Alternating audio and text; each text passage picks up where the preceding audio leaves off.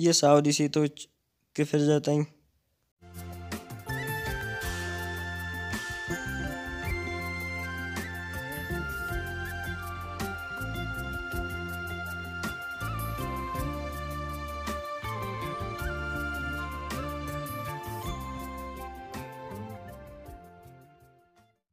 ከአምሪ ጋር ምንጣፉን አጥበን እንደጨረስን ፀሐይ እንዲያገኘው ከግቢ ውጭ አሰጣ ነው። አምሪ ግቢውን ጠርጋ ስጨርስ ያው ዝናብ ከዘነበ ምንጣፉን ብቻ ማስገባት ስለማልችል ዛሬ የትም መሄድ አትችልም አለችኝ። ማዕቀብ ቢመስልም ደስ በሚል ሰው የጣለ ደስ የሚል ማዕቀብ ስለሆነ ወድጀዋለሁ።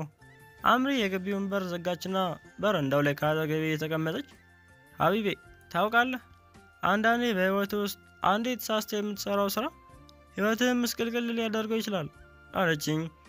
አንገቴን አቀርቅሬ ምን ተሳስተሽ ነው አልኳት። መልስ ሳሰጠኝ ከእሱ የሚከፋው ደግሞ የአንተ መልካም ያልሆነ ምግባር ለሌላ ህይወት መበላሸት ምክንያት ሲሆን ነው አለችኝ። ነግረኝ የፈለገችውን ነገር ከመተንፈስ በዘለለ ለማብራራት እንዳልፈለገች ስለተረዳው ያስጨንቃት አልፈለግኩም። ዝም ብዬ ልክ ነሽ አልኳት። ሳቀች። ግን ምን አሳቃት? እኔ እንጃ አልጠየኳትም። ከአምሪ ጋር እየተጨዋወትን ሚኪያስ ደወለ። እየሳቀ ሀቢብ ራመቶ አለኝ። ሰሞኑን mood መያዣ አድርገውኛል። ዛሬ ከሄለን ጋር office ስለሚያሳልፉ ወደ office ድርሽ እንዳልል ሊያስጠነቅቀኝ ነው የደወለው። እኔ እንኳ ሲጀመርም ቆንጆ ስራ ላይ ነኝ። አምሪ በወሬያችን መሃል ሀቢቤ ግን እኔ እናንተ አብረን እዚህ ረጅም ሰዓት ስንቀመጥ ቢያዩ ኡሚም አቢም እንደሚቆጡ ታውቃለህ አለችኝ። ዛሬ ወይዘሮ ሌላ ከሀጅ ራህመቶ ጋር በጠዋቱ ይወጥተዋል። ግርም እያለኝ ለምን አልኳት። ሃይማኖታችን አይፈቅደውም አለችኝ። ይገርማል። ታዲያ ለምን አብረሽኝ ተቀመጥሽ አልኳት። እኔ እንኳን አለችና በረጅሙ እየተነፈሰች ይለፈኝ አለችኝ። እኔ ሰው ማስጨነቅ ብዙም አይመቸኝም አለፍኳት። ደስ የሚለው ምንም ክረምት ቢሆንም ዛሬ ጠዋት ምንጣፉን ከማጠባችን በፊት የዘነበ ቀኑን ሙሉ አልዘነበም። ከአምሪ ጋር ባዶ ቤት ብቻችንን መሆናችንን ሳስብ ስለ እሷ የሚሰማኝን ስሜት ልነግራት አሰብኩ። ደግሞ ነግሪያት ቢደብራት ወዳጅነታችንም ሊቀር ይችላል ብዬ ስለፈራው ተውኩት እና አምሪያ ቤት እየኖርኩ ትንሽ እንደቆየው የእኛ ቤት የቤት እቃዎች በሙሉ ተሸጡ። ትናንሽ የቤት ውስጥ መገልገያዎችን ሰፈራችን ላለች አንድ ሴትዮ ሰጠናቸው። ቤቱም ተከራየ። አዲስ ባለትዳሮች ናቸው ቤታችንን የተከራዩት። የአስራ ሁለተኛ ክፍል መልቀቂያ ውጤት ወጣ። አምሪ 592 አመጣች። ወንድሞቿ በሽልማታን በሸበሿት። እኔም ከአረብ ሀገሯ ታላቤ ከተሚማ ባጨርኩት ብር የእንግሊዝኛው A መሃሉ ላይ የተንጠለጠለበት የብር የአንገት ሀብል ስጦታ ሰጠዋት። አምሪ ስጦታዬን በጣም ወደዋለች። ክረምቱ እያለቀ ሲሄድ ከአምሪያ ጋር ያለን ቅርርብ በጣም እየጠበቀ ሄደ። ፈጣሪ ባርካት። በህይወቴ በልቼ የማላውቀውን በርገር የሚባል ምግብ ሱስ አስያዘችኝ። ብር እኔም ሀጂ ስለሚሰጡኝ እሷም ከወንድሞቿና ከሀጂ ስለሚሰጣት አንዳንዴ ካልሆነ አጠናናውቅም። ወጣ ብላ ስትመለስ ለእኔ ገዝታ ይዛልኝ ትመጣለች። እኔ አስራ አንደኛ ክፍልን እንደምንም ባልፍም ላለመማር ወስኛለሁ። ሀጂ ሃይማኖታዊ ትምህርት በግድ ሊያስተምርኝ ወስነዋል። እኔም የማያ አደራ ሆኖብኝ ሳልወድ በግድ እሺ ብያቸዋለሁ። እነ ሚኪያስ ትምህርት እንደማልቀጥል ስነግራቸው በጣም ተበሳጩ። ሀጂ ልጅ ነፃነቴን እንደገፈፉኝ ተሰማቸው። በእርግጥ ሀጂ ሃይማኖታዊ ትምህርት እንደማር እንጂ ዓለማዊ ትምህርት እንዳቋረጥ አላስገደዱኝም። መማር እንደማልፈልግ ስላወቁ ነው ይህን የፈረዱብኝ። ፌቢ ቢያንስ በሳምንት ሶስት ቀን office ውስጥ አብራኝ ተሳልፋለች እና ሀጂ ቤት መኖር መጀመሪያን አልወደደችውም። አንዳንዴ ትምህርታችንን ትተን የሆነ ነገር እየሰራን አብረን እንኖር ትለኝ ነበር። በጣም የሚገርመኝ ቀን ከሌት የሚለፉላት እና የሚያንቀባሯትን ቤተሰቦቿን ከቁብም ሳትቆጥር እነሱን ትታ ከእኔ ጋር ለመኖር ማለሟ ነው። ሴት ልጅ ከወደደች ከተያዘ ነፍሷ የቤተሰብ ክብር ጨዋታ ነው ለሷ አይደል የሚባለው። ይህን ግጥም ፌስቡክ ላይ አንዷ ለጥፋው ነው ያነበብኩት። የማን እንደሆነ ግን አላውቅም። ከስሩ ግን ከበደ ሚካኤል የሚል ጽሑፍ ያየው ይመስለኛል። ግጥሙ ፌቨን በደንብ ይገልጽልኛል። ክረምቱ ተጠናቆ አዲስ ዓመት ተበሰረ። የእነ አምሪ የዩኒቨርሲቲ ምድብ ወጣ። አምሪ ክፍለ ሀገር ቢደርሳትም በጣም ሊደበረኝ እንደሚችል ይሰማኝ ነበር። ግን ቢደርሰኝም እዚሁ የግል ዩኒቨርሲቲ ይማራለሁ ስላለችኝ ተረጋጋሁ። ደስ የሚለው ምድብ ሲወጣ ሕክምና አዲስ አበባ ዩኒቨርሲቲ ደረሳት። ሁላችንም በጣም ደስ አለን። ዛሬ የአዲስ ዓመቱ ፀሐይ ፈገግ ያለ ይመስላል። በጠዋቱ ተነስቼ ግቢ ውስጥ pushup እየሰራሁ ነው። ሀጂ የንጋት ስግደት እንድሰግድ ሲቀሰቅሱኝ እሺ ብዬ መብራቱን አበራና ሲሄዱ አጠፋዋለሁ። ያው ግን ስለለመደብኝ 12 ሰዓት ላይ chat ማድረግ ጀምራለሁ። ሀጂ ለቁርስ ሊጠሩኝ ሲመጡ ነቃ ብዬ ስልክ ስጎረጉር ስለሚያዩ የሰገድኩ ይመስላቸዋል። ዛሬ pushup ስሰራ አምሪ መጥታ ሀጂ የጠሩኝ እንደሆነ ነገረችኝ። ስሄድ ፈገግ ብሎ ተቀበሉኝና ሀቢቤ ነገ ወደ መርከዙ ትሄዳለህ፣ ልብስን አምሪያ ታዘጋጅልሃለች አሉኝ። መርከዝ ያሉት የሃይማኖት ትምህርት ቤት ማለታቸውን ይመስለኛል። ልብስ ምን ያደርግልኛል አልኳቸው። ሀጂ ፈገግ እንዳሉ አዳሪ ነው እኮ ትምህርቱ አሉኝ። ውስጤ ንዴት ቅጥልጥል ሲል ይሰማኛል። እንዴት ነው እንደዚህ አይነት ህይወት የማሳልፈው? አዳሪ ይላሉ እንዴ? ምርር እያለኝ አዳሪ ማለት አልኳቸው።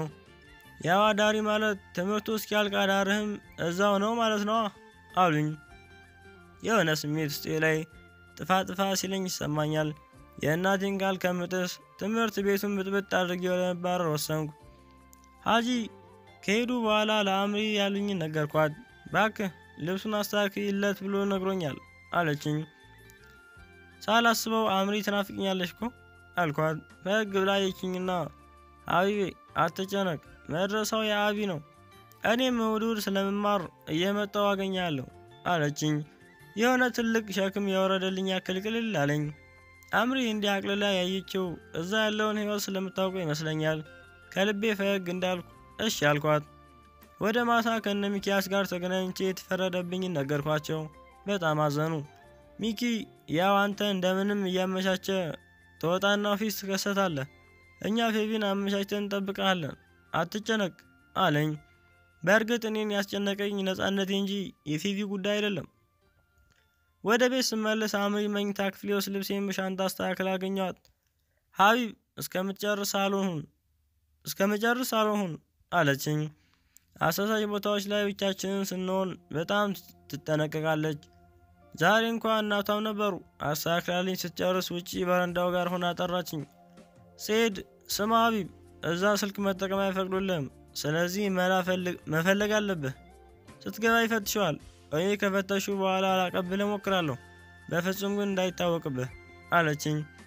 ጸጉሬን እየጠቀለልኩ ኧረ አምሪ ስራዬ ነው አትጨነቂ፣ ብቻ ስልኩ ይግባ አልኳት። ደግሞ ለካርዱ አታስብ፣ እኔ ልክልሃለሁ። የምመጣ ቀን ደግሞ አስቀድሜ እነግርሃለሁ አለችኝ። ይህን ሁሉ ለምን ታደርግልኛለች? እሷም እንደኔ እናፍቃት ሲሆን እናፍቃት ይሆን እንዴ አላውቅም። ፍዝዝ ስልባት ሀቢብ ይህን ሁሉ የማድረገው አንተ በጣም ጨለማ ውስጥ ያለ ሰው ስለሆንክ በአንዴ ወደ ብርሃኑ ሲወረውሮ ጨረሩ በስቶ እንዳይጎዳ ብዬ ነው። ህይወትን እንደ ልብህ ስትሆን እንዳሳልፍ ካውቃለሁ። አሁን መታፈኑ እንዳይከብድ ትንሽ ማስተንፈሻ እያመቻቸውል ነው አለችኝ። ልክ ነሽ አልኳት፣ ብስለቷ ግርም እያለኝ። ቆይ ግን ስለ እኔ ህይወት እንዴት እንደዚህ በድፍረት ትናገር ቻለች? ዋናው ግን ያቀረበችው ሀሳብ መልካም መሆኑ ነው። በነጋታው ጠዋት ላይ በሀጂ መኪና ወደ ትምህርት ቤቱ ሄድን። ከአምሪያ እንደተነጠልኩ ሳስብ በጣም ሆድ ባሰኝ። ሀጂን ገፍቼ የራሴን መንገድ ለመከተል አሰብኩ። ደግሞ የእናቴ አደራ ትዝ ሲለኝ እንደምንም ለመጋፈጥ ወሰንኩ። ግቢ ውስጥ ገብተን ከመኪናው እንደወረድኩ አንድ ሰውዬ መጥቶ ከሀጂ ጋር ትንሽ አወራና ሀጂን ተሰናብቶ ኡስታዝ ሰይድ እባላለሁ ተከተለኝ ብሎኝ ከፊት ከፊት የመራመድ ጀመረ። ሀጂን ተሰናብቼ ሰውየውን ተከተልኩት። አምሪያ እንዳለችው ግን ፍተሻ አልተደረገብኝም። ስገምት ሀጂ ስላስገቡኝ ነው። ስልኬን አምሪ ወደ ማታ ልታቀብለኝ ተቆጣጥረናል። ኡስታዙ ወደ ቢሮ አስገብቶኝ አንዳንድ ጥያቄዎችን ከጠየቀኝ በኋላ የትምህርት ቤቱን ሕጎች መናገር ጀመረ። እዚህ እስካለ ድረስ የመኝታና የትምህርት ሰዓቶችን ማክበር አለብህ አለኝ አለኝና ከተማሪዎች ጋር ሊኖረኝ ስለሚገባው ግንኙነት አብራራልኝ። አውርተን ስንጨርስ የምተኛበትን ክፍል አሳየኝ። ተደራራቢ አልጋዎች ያሉበት ሰፊ ክፍል ነው። ሻንጣዬን አልጋዬ ላይ ካስቀመጥኩ በኋላ የአንድ ክፍል በር እያሳየኝ አሁን አንድ ልጅ ቁርአን ሸምዶ ስለጨረሰ የእንኳን ደስ አለ ዝግጅት ተዘጋጅቶ ሁሉም እዛ ናቸው፣ ሂድ ግባ አለኝ። ወደ ክፍሉ ልገባ በሩን በትንሹ ከፍቼ ሳይ ትንሽዬ መድረክ ላይ አንድ ነጭ ጀለቢያ የለበሰ ሰው ቆሞ ያወራል። ተማሪዎቹ ሁሉም ነጭ ጀለቢያ ለብሰው እግራቸውን አጠላልፈው በሰልፍ ተቀምጠዋል። ጀለቢያ የሚባለው ወንድ ሙስሊሞች የሚለብሱት ቀሚስ ነው። ተማሪዎቹ እንዳለ ልጆች መሆናቸውን ሳይ በጣም ተበሳጨው። አሁን ከእነዚህ ጋር ማን ነው የሚዛዛገው? ከከሪሜ የሚበልጥ አንድ ልጅ ብቻ ነው ያለው። በጣም ተበሳጨው። እቅዴ ከቻልኩ ዛሬ ለመባረር ነው። በሩን ከፍቼ ስገባ መድረኩ ላይ ያለው ሰውዬ አላህ ማንንም አይበድልም፣ በጣም ፍትሐዊ ነው፣ ሁላችንም የሚሰጠንን ጸጋ ብንቆጥረው የጎደለን የለም አለ። ድምፄን ከፍ አድርጌ አትዋሽ፣ ፍትሐዊ አይደለም፣ ከፊሉን እያሰቃየ አንተን ስላስደሰተ ፍትሐዊ ነው አትበል አልኩ። ተማሪዎቹ ዞር ብሎ አዩኝና አጎንብሰው ሳቁ። ኡስታዙ አየኝና ስም ማን ነው አለኝ። በንቀት እያየሁት ሀቢብ አልኩት። አዲስ ተማሪ ነህ መሰለኝ፣ በኋላ ቢሮ እፈልጋለሁ አለኝ። ሊያባረኝ ሊሆን ይችላል ብዬ በጣም ደስ አለኝ። ማታውን አምሪ መጣ አስጠራችኝ። ኡስታዙ የሀጂ ልጅ ስለሆነች እንደ ልቧ አይነት ገባ ይፈቅድላታል። በእጇ ፌስታል ይዛለች። ጀለቢያ አቢ ገዝቶልሃል አደሽለት ብሎኝ ነው አለችና ፌስታሉን ሰጥታኝ ሄደች። ኡስታዙ አጠገባችን ቆሞ ስለነበር ምንም ማውራት አልቻልንም። እንደ ሄደች ጀላቢዎቹን እያወጣው ስመለከታቸው የአንዱ ኪስ ውስጥ ስልኬን አገኘሁት። የአምሪ ጥበብ ገረመኝ። ከልጆቹ ተደብቄ ለአምሪ እንዳገኘሁት የሚገልጽ መልእክት በ message ላኩላት። ሌሊት ዘጠኝ ሰዓት ሲል አንዱ ኡስታዝ መጥቶ ቀሰቀሰኝ። በጣም ተበሳጭቼ ምን ፈለግ ስለ ውሃ እየረጨ ከተኛበት አስነሳኝ። አሃ ለካ የመኝታ ህግ የተባለው ይሄ ነው። ሌሊት ዘጠኝ ሰዓት ተነሱ መማር ሰው አይደሉም እንዴ? በጣም ቀፈፉኝ። በአላህ ፍቃድ ክፍል አስር ይቀጥላል።